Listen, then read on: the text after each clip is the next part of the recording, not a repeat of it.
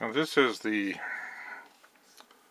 Pixie 85 or the Tiny 85 board uh, set up in a little uh, development environment. I've gone ahead and I've preloaded the board with, or the chip with uh, the program I use for the Pente Blinky. And I just,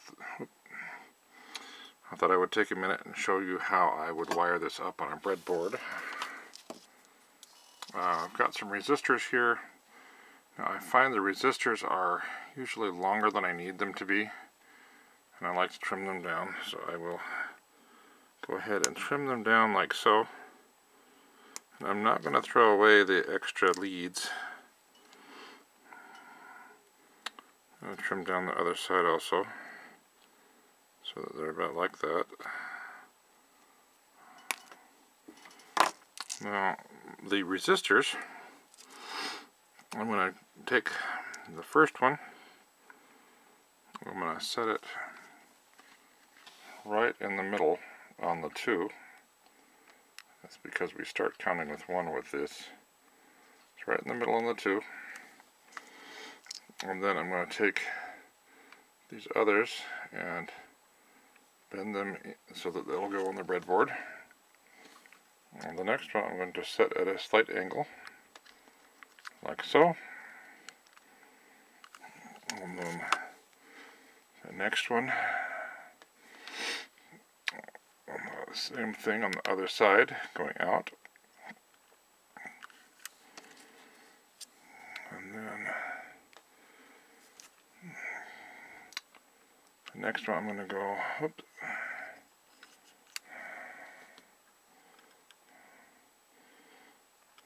Okay, so this next one I'm going to have go out even further. And my objective here is to get it so that there's an empty space between each resistor on the bottom. Last one. i go here to here.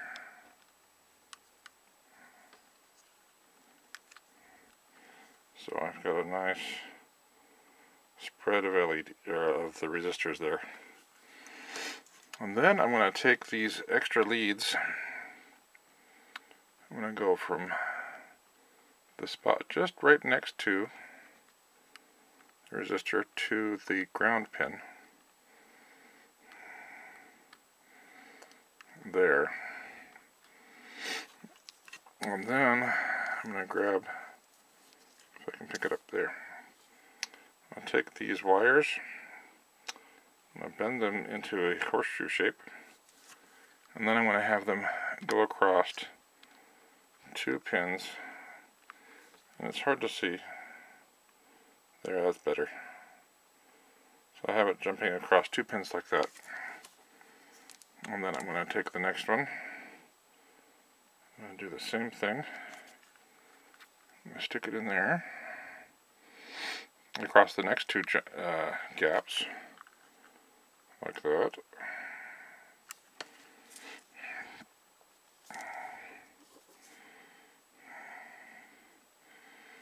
And this time I happen to grab two leads so I'll just need one at a time. And I'm going to keep jumping them across so that every other pin on the breadboard is connected to the negative lead. And then one more for good measure. Probably don't really need it, but that way it won't matter which way I plug LEDs in. Now the resistor values I'm using are a 330 ohm resistor which should work fine with most um, with most LED values. And now I take my LEDs, which I've trimmed off, and the negative lead is the short one. So I just have to go through and plug it in. Let's see, that's a green one. Let's start with a red one do a red, green, blue, like so. And then I'm going to go back to red. And green.